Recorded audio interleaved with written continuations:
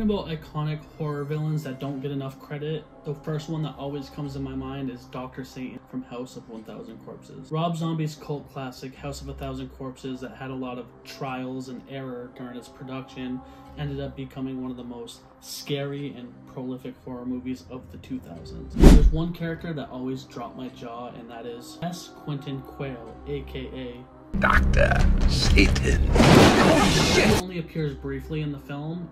His presence is pretty much the central relevance of the entire film. As we know, a group of young adults are traveling across the country looking for oddities and roadside attractions.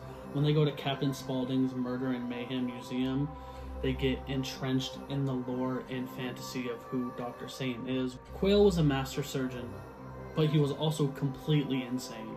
As an intern at Willows County Mental Hospital, he did a wide variety of surgical torture and brain operations.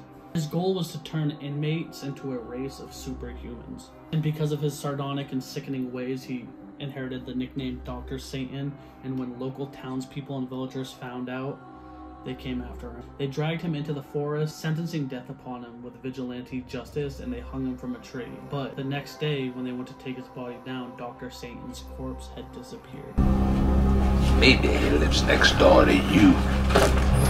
The curiosity and mystery of his disappearance became somewhat of an urban legend within the realm of this franchise. So when Bill and his friends stumble upon Captain Spaulding and they learn about, about the infamous story of Dr. Satan, they get a map drawn up so they can go solve the great Deadwood mystery and they stumble upon the sadistic Firefly family where Otis, the ringleader, tells them exactly who Dr. Satan is. He'd really like to know.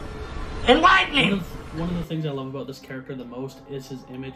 From his grotesque, disturbing nature to his oxygen mask, his very corpse-like appearance, it's so haunting. Rob Zombie himself had suggested that the end scene of House of a Thousand Corpses, when the final survivors do see Dr. Satan, is that it's more suggested to be a hallucination than a real-life event. He also claimed that there's an earlier cut of the movie that never got brought to fruition where Grandpa Hugo, one of the main Firefly villains, was actually dressed up as Dr. Satan and was trying to scare them into thinking Dr. Satan was real, but they but the movie that they distributed ended up taking the more supernatural approach.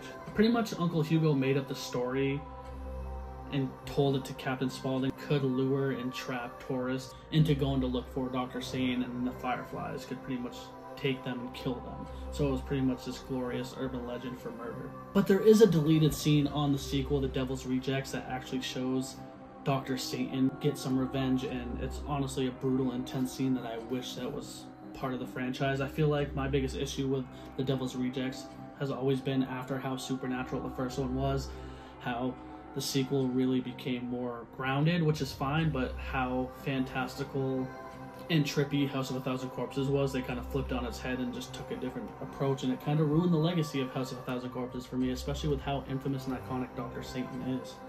And though Dr. Satan is such a minorly integrated character in the movie, he has become pretty much a fan favorite.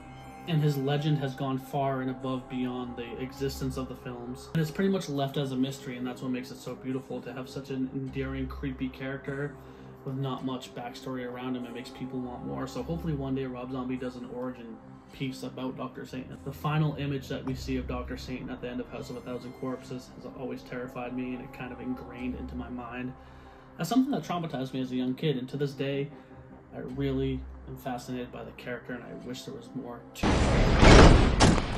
That was so badass! Dr. Satan! Ah, Dr. Satan! Alright guys, that's the video. Subscribe, give me a thumber, hit that little ding-a-ling button pressing you telling you, hey, it's me, I'm here. And I'm gonna say it one time for the one time and two time for the O's. Give me a hell yeah for horror.